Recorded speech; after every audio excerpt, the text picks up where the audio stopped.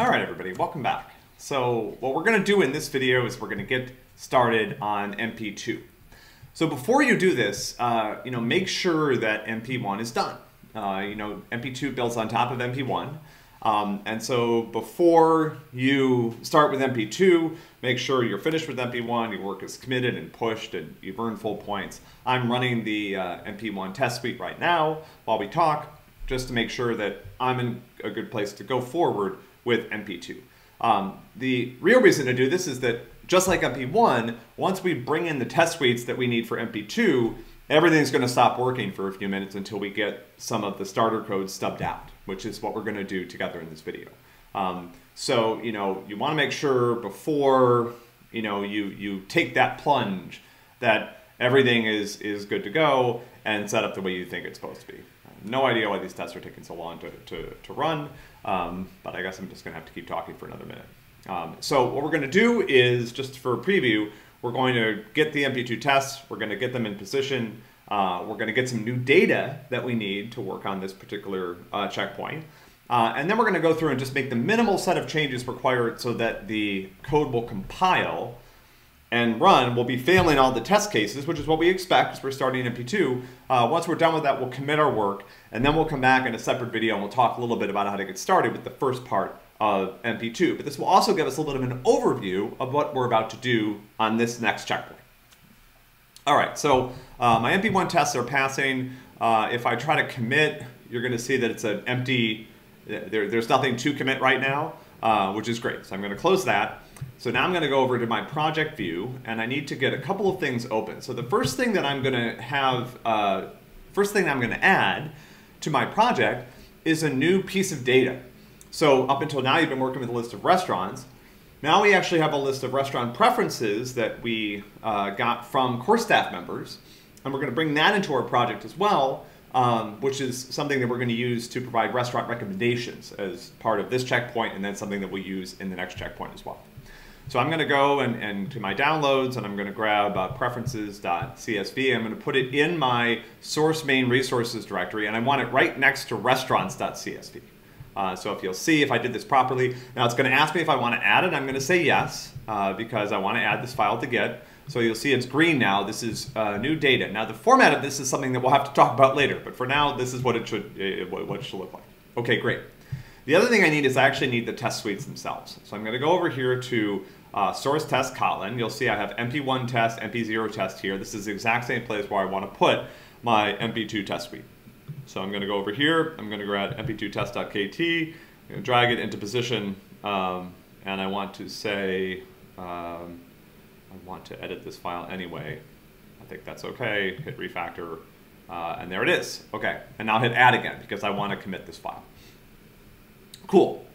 So now once uh, Android Studio has a minute to figure out what's going on, you're going to see that this is underlined in red, and there's quite a few different problems that we need to solve before we can continue um, as we go through this. And so I'm just going to kind of go in order, and this will sort of go in order of, of the type of changes that you're going to need to make in order to complete those checkpoints. Let me close the, the testing window. We're not going to need that right now. So the first thing I need to do is I need to go into uh, source Kotlin network uh, server and I need to add a method. I need to add a method called load preferences, and this is going to be one of the first things that we're going to do. So this is going to be MP2 part one. Uh, sorry, part one, load preferences from uh, from CSV and convert to JSON. So one of the things you're going to be doing in this checkpoint is you're going to be um, mimicking a lot of code that we've already given you, right? So I'll just have this return a blank string for now. Um, and why is it upset? Oh, that's fine. Okay. Uh, detekt can just uh, not, we can just ignore that for now. Um, and so you'll see now load preferences is defined, okay. Uh, one of the things we're going to be doing as part of MP2 is we're going to be, be showing you how to mimic code that's already in your project. So uh, rather, there is a little bit more code to write for MP2. It's not a huge amount, but the code that we're asking you to write is very similar to the code that we've provided. And so what we're going to be doing together more this time is reading some of the code together, understanding what it does, and then asking you to sort of build on top of it. Okay, cool. So, so that works. Uh, now let's go back to MP2 test and, and look at the next problem, which is, ah, yes, I need a preference model. So what's in preferences.csv is information about restaurant preferences of the core staff. And I need a model in order to re represent that information. So I'm going to go over to models.kt. I will close my restaurant model and I'll close my search. Um, and down here, I'm going to add uh, just a new uh, preference class. And right now, this can just be empty. Uh, that's okay. If I go back to this, you'll see that now uh, those errors go away. Um, so I'm going to need to add more to that later, but for now, that's okay. Um, I'm just doing the minimum number of changes I need in order to, uh, and I'll just put a note here as well, mp2 part uh, uh, add information to my, and actually we'll do this in part one. We'll say add information to my preference model. All right, cool. All right, so now I'm back here uh, and I'm gonna keep going. Um, and the, the next thing I notice is that it looks like my restaurant model needs an ID. Um, and that's actually true. So I'm going to go back up here and I'm going to add an ID field. Some of you may already have this because you may have added this as part of an, uh, an earlier uh, checkpoint. Uh, and now I need to modify the constructor a little bit, and now I'm good. So I've added an ID uh, field to uh, my restaurant model. Uh, you'll see that those errors now go away. And I really have at this point, yes, two things left to work on. So as part of, sorry, three. Um, so we're actually going to, as part of this checkpoint, add a new uh, piece of client-server communication. We'll talk about all this in detail, don't worry. This is just sort of the high-level overview. And so I'm going to go over to get client, and you see here that there's a method called get restaurants. I need to mimic that method uh, with a new method called get preferences. And I'm gonna, so I'm gonna cut and paste that down here. I'm gonna call this get preferences. I'm gonna close that. And this callback now should be should return a list of preferences. Uh, and I can import that from my models class. Um, we'll talk about exactly how to get this callback to work and what it's doing and why we're using the callback here at all um, when we talk about that part of the MP. But for now, what I'm going to do is I'm simply going to call callback null. So I'm just going to return a, a null list. Um, and so that's okay. Uh, that's going to work. So that's going to get uh, rid of one more error in my MP2 test. And now I'm down to the last few things. So as part of this checkpoint, we're going to add a new screen to the app, which is pretty cool. Um, in order to do that, I need to create a new activity. So I'm going to go up here to Activities. I'm going to hit New Java Class. I'm going to call this Restaurant Activity. Be careful with how you name things. At least for me, restaurant is a hard word to spell. Uh, so if you if you fat finger it and put something in there that, that doesn't match, it's not going to work. Uh, I want to add this file uh, because I, I need this uh, committed.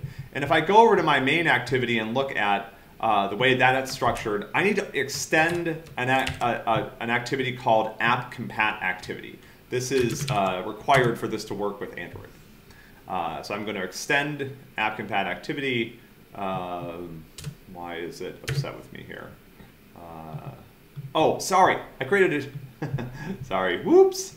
Let's, uh, I am in Java mode. Sometimes you, sometimes you just get in Java mode. Uh, okay, so let's try this again.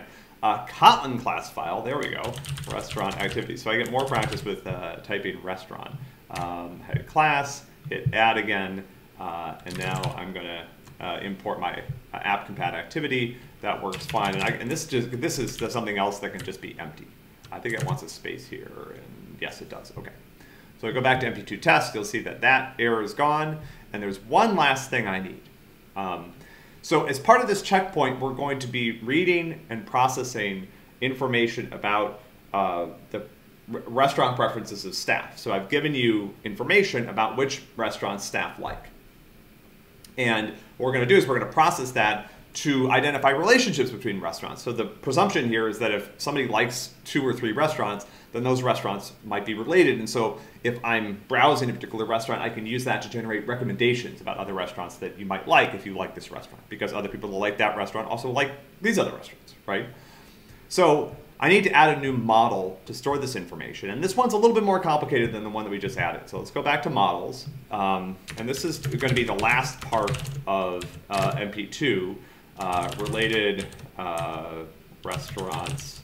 Uh, is that what it's called? Related restaurants, yeah. So my related restaurants model. So my related restaurants model is going to uh, it's going to receive, it needs to provide a primary constructor that receives two things, um, a list of restaurants, uh, restaurant, and then a list of preferences. Okay, so that's, that's good, that's there. So the re related restaurants class takes a list of restaurants and a list of preferences, uh, and you'll notice that I need to do this so that I can create one uh, down, well, somewhere in here. Um, and then it also provides a single method called getRelated.